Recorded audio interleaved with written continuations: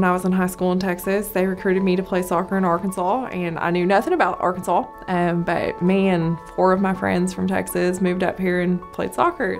It was a constant. Um, it's something I'd done my whole life, and I'm you know, really love it and was able to rely on it and the team aspect of it.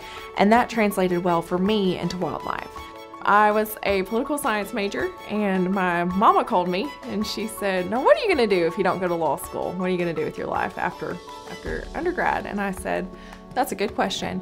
So I set up a couple meetings with different departments and went and met with them and the wildlife professor caught my attention when he told me that you got to go play with animals and look at plants and trees and be outside a lot. Arkansas State did a really good job of opening me up to all of these opportunities.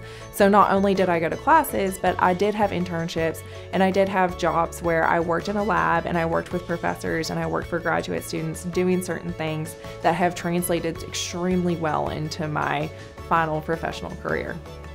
I had wanted to be a lawyer since I was 10. I told everybody at fifth grade graduation I was going to be a lawyer. So when I was done with wildlife, I thought, might as well give it a go. You never know if you don't try. And I switched back and went to law school and loved every second of it. And science translates so well into law school. You really don't know that until you do it. You never know if you like something or not until you try it. And then once you try it, you know. And don't do something you don't like, but always be willing to work hard. I didn't quite know if I would like doing OSHA. I didn't know if I'd like working at a big firm, and I love it.